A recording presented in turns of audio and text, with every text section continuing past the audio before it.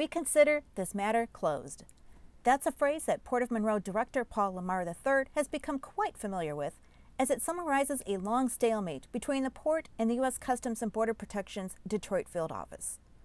The Port of Monroe is along the River Raisin, just off Front Street and east of I 75. It provides easy access from Lake Erie to both the interstate and rail. LaMar often calls it the biggest little port on Lake Erie, explaining that it provides support of 1,600 jobs and $96 million of economic activity to the region. But there are challenges.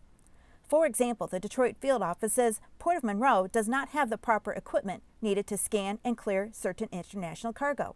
But the Detroit field office also says its resources are not guaranteed to the Monroe port.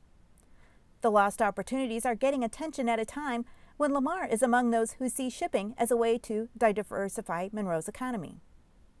A University of Michigan study estimates that just one lost cargo stop because of a dispute with Customs and Border Patrol during 2017 cost Monroe more than $15 million in lost revenue. That vessel went to the Port of Cleveland instead, and in response, the Port of Monroe's tugboat flew a flag with the slogan, Don't Give Up the Ship. That's not counting the lost business that University of Michigan says containerized cargo could bring to the region. But at this time, Monroe is not authorized to handle it.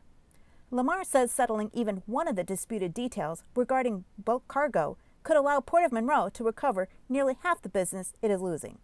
You'll find more details in a special two page report in the August 25th edition of the Monroe News and at monroenews.com.